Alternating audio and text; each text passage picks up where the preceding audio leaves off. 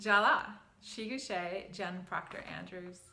I'm here today with the lovely K'Lynn Simpson to talk a little bit about tribal traditions and uh, growing up in our tribal traditions.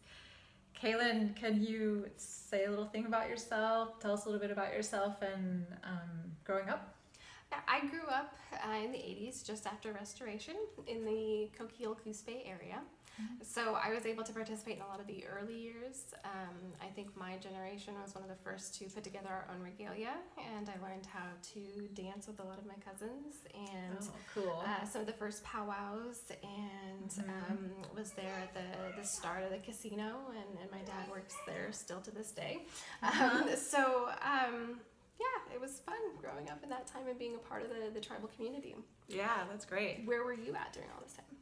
Um, well, growing up in the 70s and 80s in Salem, I had a different experience in knowing when I was very young that I was a part of a tribal group, but it was a very vague understanding um, because I was so young and because we didn't really have a lot of cohesiveness. Um, at least it wasn't in my world living in Salem uh, with my family.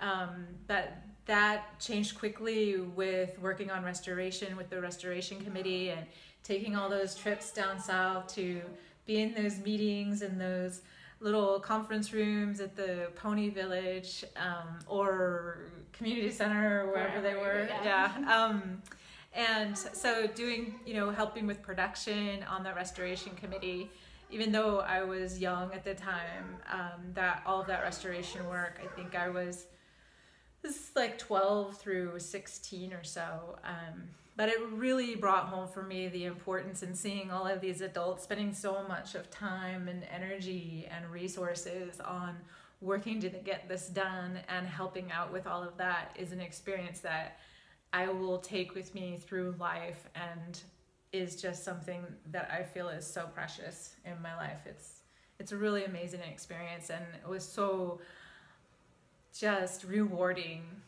when it was done. It was mm-hmm. like we got this restoration and at the time, you know, being the age that I was, uh, I I don't know that I really had a grasp back then on what it meant or you know how it was going to change my life um, and all of the other lives that it touched. Um, so I feel like it's it's important for us to really to learn from the past and maintain that connection to even though those dark dark dark days are over to really understand and know that how precious it is what we have. Absolutely, absolutely. Showing gratitude towards the people who paved the way for us to really experience what it's like to be in a sovereign nation. Mm-hmm. Um, to, um, yeah, just feeling very blessed is what I've always thought of being tribal. Um, mm-hmm. My grandma used to talk a lot about prior to restoration, just the huge difference it was in the tribal community because it was really a fight to get recognized and to to be awarded that that sovereignty that we fought so hard for. So we owe it to our elders, which is another reason I think that um, I really have appreciated our um, our culture's appreciation of elders because they were the ones that paved the way for us. And then now being a mother and taking it very serious of passing on the culture and the traditions to children is important. And here he is. Yeah, right, here he is. Right on cue, hey. my love. yes, sweetie.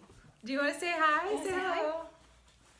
Hey, there and this is are. the next generation that we are now responsible for um, yeah. continuing those cultural traditions with. All right. Well, um, thanks for talking yes. with me today. Um, it was great, great talking with you, and yes. thanks for participating, Garrett. Yes. yes. and thank you for coming over and talking about all of this. Absolutely. Nice. Yeah. All right. We hope you enjoyed it. Okay. All right. Have a good day. Thanks. Shun Holly.